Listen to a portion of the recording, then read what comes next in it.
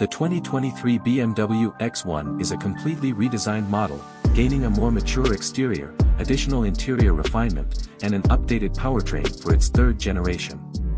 The small SUV competes against the Mercedes-Benz GLA class, Volvo XC40, Lexus UX, and other entry-level luxury models.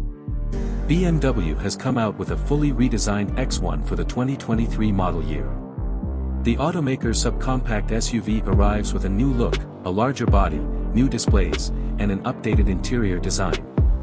The changes come at a good time, as the current generation of the X1 was rapidly becoming one of the older entries in the segment.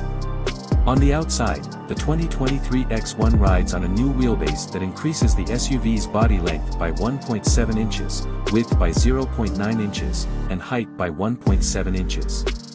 The SUV wears large kidney grills, an angular front fascia, and rounded headlights. At the back, the 2023 X1 has clean lines, chunky tail lights, and sharp edges on the rear bumper. What's new for 2023? BMW has redesigned the X1 SUV for 2023.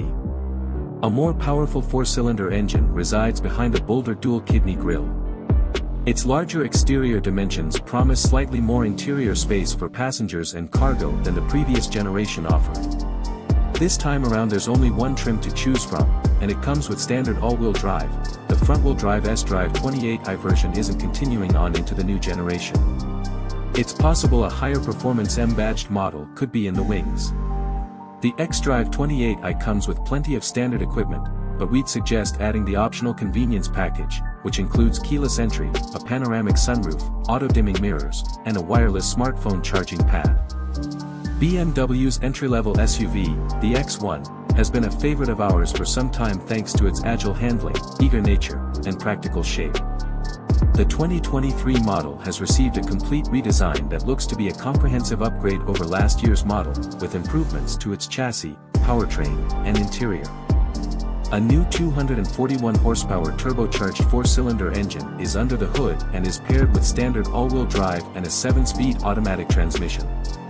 Unlike its main rival, the Mercedes-Benz GLB class, the X1 remains a two-row SUV, but its slightly larger exterior dimensions have translated to extra space inside the cabin according to BMW. Speaking of the interior, it's updated with a more modern design and the latest tech features, including the brand's iDrive 8 infotainment setup.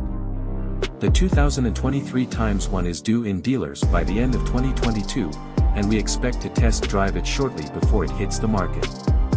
The subcompact SUV is available with a curved display that includes the digital instrument cluster and touchscreen in a single unit. The SUV doesn't have any physical controls on the center console, while the X1 adopts a floating center console design with push-button controls for the transmission. Thanks to the 2023 X1's larger body, the subcompact SUV should have more passenger space than the current model. Please like and subscribe for more video.